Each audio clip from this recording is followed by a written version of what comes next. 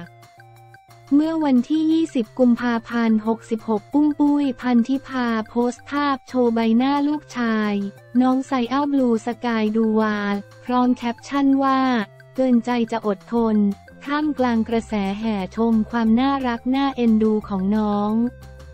ทั้งคนบันเทิงทั้งแฟนคลับต่างเข้ามาใจละลายกันเป็นแถวที่ได้เห็นหน้า น้องไซอ้าบลู ซึ่งก่อนหน้านี้ปุ้มปุ้ยได้แจงเหตุผลที่ปิดหน้าลูกว่าเป็นเรื่องที่คิดหนัก และทำการบ้านหนักมากเรื่องนี้ปุ้ยให้ความสำคัญกับสิทธิขั้นพื้นฐานที่เด็กจะได้รับจากผู้เลี้ยงดู 70%คิดว่าจะไม่มีใครได้เห็นจนกว่าลูกเริ่มมีพัฒนาการด้านตัวตน สามารถบอกความรู้สึกได้จำเป็นต้องขออนุญาตจากลูกก่อน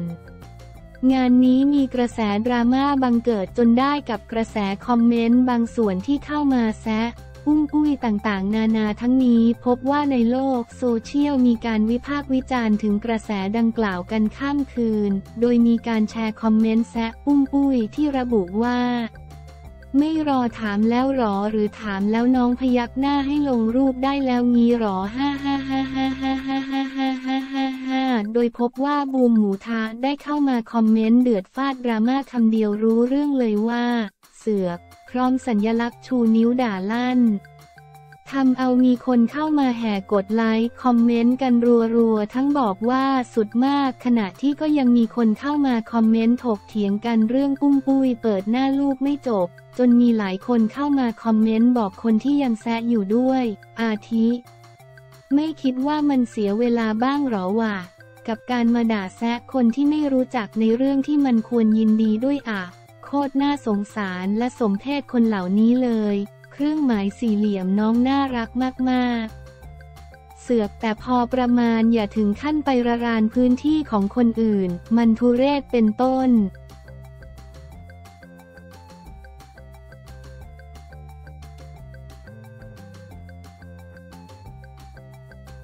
หนิงปณิตาเก็บตัวเงียบหลังโดนโยงข่าวลือรอบสองคนรอบข้างชี้ผิดสังเกตไม่ใช่คนเดิม ล่าสุดยกเลิกงานอีเวนต์หนิงปณิตาเก็บตัวเงียบ ชาวเน็ตขาเผือกไม่ได้พักกันเลยทีเดียว หลังจากที่ก่อนหน้านี้มีข่าวลือว่า นางร้ายหน้าเหวี่ยงเก็บกระเป๋าออกจากบ้านสามีทำเอางานเข้าผู้จัดและอดีตนางร้ายตัวแม่ หนิงปณิตาที่โดนพุ่งเป้าเต็มๆก่อน เจ้าตัวจะให้สัมภาษณ์ถึงประเด็นดังกล่าว ระหว่างไปร่วมทริป SEWA โสมดำอินโคเรีย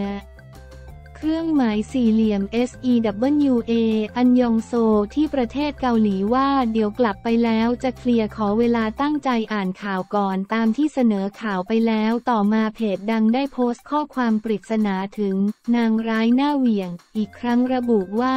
วาเลนไทน์สุดหวาน แต่ไม่ได้หวานกับเมียตัวเอง มีตาดีเห็นแล้วแจ้นมาบอกเจอสามีอดีตนางร้ายหน้าเหวี่ยงไปดินเนอร์ร้านหรูกับหญิงอื่น เอ๊ะยังไงกันคะเนี่ย ล่าสุดวันที่ 21 กุมภาพันธ์ 66 ข่าวสดบันเทิงออนไลน์พยายามติดต่อไปหาหนิงปณิตาเพื่อสอบถามถึงกระแสข่าวหลังมีชื่อถูกโยงอีกครั้งแต่เจ้าตัวไม่รับสายงานนี้นักข่าวไม่ย่อท้อตามสืบต่อเองจากคนรอบข้างหนึ่งในคนสนิท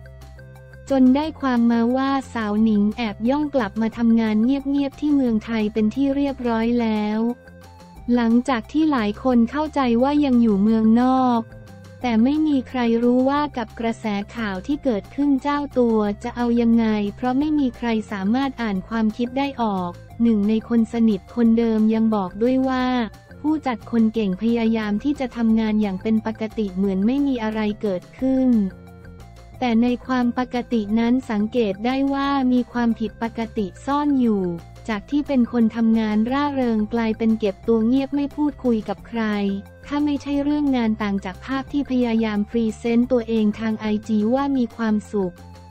นอกจากนี้บรรดาเพื่อนสนิทในแก๊งที่ปกติจะทราบเรื่องราวของสาวหนิงแทบทุกเรื่อง แต่ประเด็นข่าวเมาส์นี้กลับไม่มีใครให้คำตอบได้เลย เพราะเจ้าตัวไม่ได้เล่าให้ใครฟัง จนตอนนี้บรรดาเพื่อน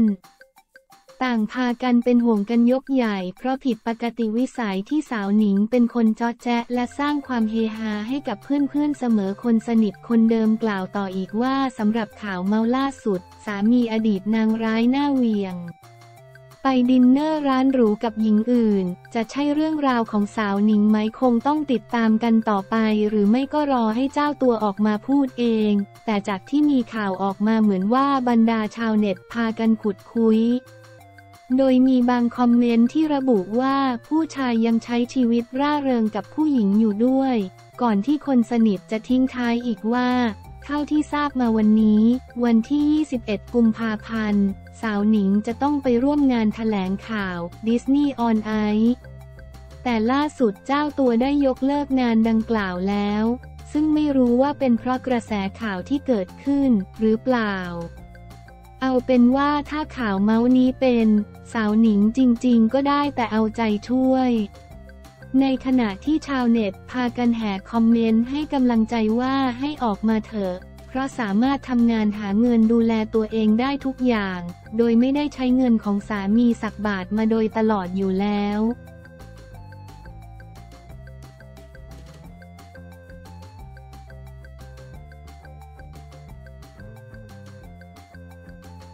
เหลือไว้เพียงตำนาน คนวงการร่วมอาลัยส่งดวงวิญญาณ นิวมุกดา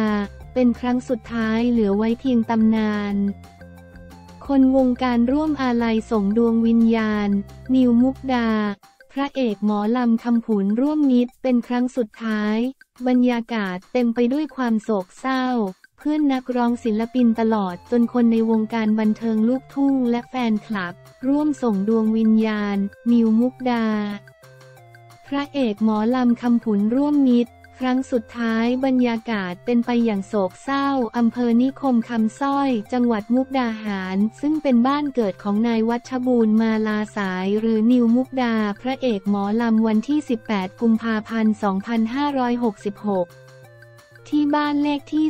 32 หมู่ 6 บ้านสุริโย ตำบลร่มกล้าว อำเภอนิคมคำสร้อย จังหวัดมุกดาหาร ในวลัยพันน้อยสันเทียรองผู้ว่าราชการจังหวัดมุกดาหาร เป็นประธานพิธีชาปนกิจศพ นายวัชบูรณ์มาลาสายหรือ นิวมุกดา พระเอกหมอลำคณะคำผุนร่วมมิตรที่เสียชีวิตจากอุบัติเหตุรถเก๋งชนประสานงากับรถกระบะ ในพื้นที่ตำบลโพหมากแข้งอำเภอบึงโขงหลง จังหวัดบึงกาฬเมื่อวันที่ 15 กุมภาพันธ์ 2566 ที่ผ่านมา ซึ่งตลอดทั้งวันตั้งแต่ช่วงเช้าที่มาผ่านมา บรรดาเพื่อนๆนนักร้องศิลปินตลอดจนคนในวงการบันเทิงลูกทุ่งแฟนคลับ และอีกมากมายเดินทางมาร่วมงานแสดงความอาลัยและร่วมส่งร่างของนายวัชบูรณ์มาลาสายหรือนิวมุกดา ครั้งสุดท้ายกันอย่างต่อเนื่อง และเป็นจำนวนมากอาทินักร้องสมจิตบ่อทองในเวลา 13 นาฬิกาทางครอบครัวและญาติพี่น้องพร้อมชาวบ้านในพื้นที่ ได้ร่วมกันเคลื่อนย้ายร่างนายวัชบูรณ์มาลาสายหรือนิวมุกดา จากบ้านมายังณชาปนสถานบ้านสุริโย ตำบลร่มกล้าวอำเภอนิคมคำสร้อยจังหวัดมุกดาหาร ซึ่งบรรยากาศเต็มไปด้วยความโศกเศร้า และเสียใจต่อการจากไปของนิวมุกดาเป็นอย่างยิ่ง โดยก่อนที่จะประกอบพิธีทางศาสนา กลุ่มบรรดาเพื่อนๆนนักร้องศิลปินได้จัดโชว์ครั้งสุดท้ายให้กับน้องนิวมุกดาขึ้นเมนอำลาเป็นครั้งสุดท้าย หลังจากนั้นเวลา 16 นาฬิกา เป็นการกล่าวประวัติผู้วายชนและคำไว้อาลัย โดยบางช่วงบางตอนได้เล่าถึงชีวิต วัยเด็กมีชีวิตความเป็นอยู่ไม่ได้สุขสบายนัก ต้องฝ่าฟันอุปสรรคมากมายตั้งแต่เด็กจนโตได้รับจ้างร้องเพลงกับวงดนตรีในหมู่บ้านเพื่อหาเงินจุนเจือ รอบครัวความฝันในตอนนั้นก็คือการเป็นศิลปิน ด้วยความสามารถที่โดดเด่นทำให้ นิวมุกดาได้รู้จักกับคนในแวดวงบันเทิง และได้เซ็นสัญญาเป็นนักร้องลูกทุ่งในสังกัดค่ายเพลงดังสำหรับผลงานเพลงที่ผ่านมาอาทิเพลง เอิ้นน้องสายหม้อนึ่งนอกจากนี้แล้วนิวมุกดายังมีความสามารถด้านการแสดงลิเก และการเป็นพระเอกลิเกคนดังแห่งเมืองอีสาน ก่อนจะเริ่มพิธีวางดอกไม้จันทร์และชาปนกิจศพ ทั้งนี้ทางนายจำนงมาลาสาย บิดานางประนัดดามาลาสาย มารดา และนางสาวจินตราคำใบสีภรรยาของน้องนิวมุกดา ต้องขอขอบคุณทุกๆทท่านที่ได้แสดงมุทิตาจิต และได้แสดงความอาลัยแก่น้องนิวมุกดาเป็นวาระสุดท้ายในครั้งนี้ด้วย